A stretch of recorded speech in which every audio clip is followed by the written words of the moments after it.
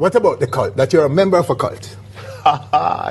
Which, all right, a lot of people say Vybz Kartel sell his soul to the devil. I'd like to know how the selling of one's soul to the devil go. Like, if you put out an ad in the Gleaner saying soul for sale, good condition, you know what I mean, and the devil contacts you, he, he writes a check or he gives you a manager's check and you change it. I want to know how that goes because that is news to me. I don't know how somebody can sell his soul to the devil.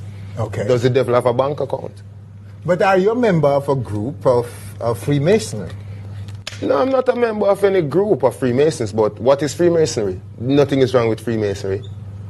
Okay. Masons build the earth. That's why if you look on a Freemason ring, you see the compass and the square.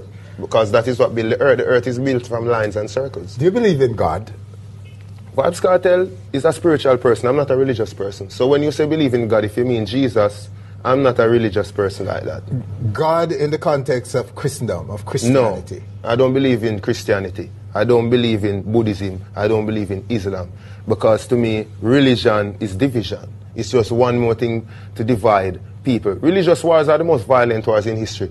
And it can be proven with even the recent 9 11 attacks in New York City. That is a religious war. Is there a supreme being in your consciousness? My supreme being would be life. You know, life is the ultimate because life is ever continuing. That's why the world is a circle. Because anything that is circular is always mobile. Life goes on. Vybz Kartel comes on the earth as kids. Vybz Kartel dies, his kids grow up, have kids, they die, and so on and so on. So I believe in life. Mm-hmm. Not in any one religious being. I say saying Jesus, I say I'm going to believe in Buddha, I'm going to believe in Allah. You know what I mean? Because when Vybz Kartel travels the world, I've been to Japan, billions of millions of people in Japan, they don't know about Jesus. They, they, they, they have their own God. So in the Christian view, all of those people, when they die, they would be going to hell. And in the Japanese view, all the Christians, when they die, they would be going to hell. So that in itself alone is confusion. So I say Rastafari. far, Rastafari is a way of life.